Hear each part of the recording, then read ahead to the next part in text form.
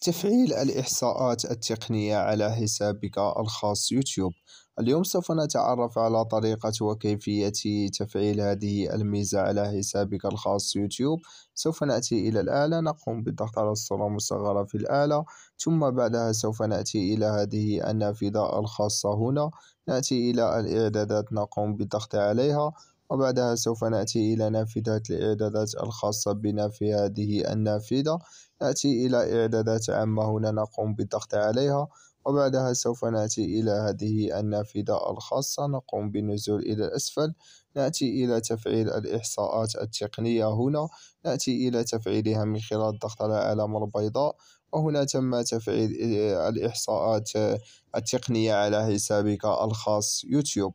وهنا نكون قد انتهينا من هذا الفيديو. لا تنسوا الاشتراك والضغط على زر لايك. ونلتقي في فيديو آخر إن شاء الله وفي موضوع آخر.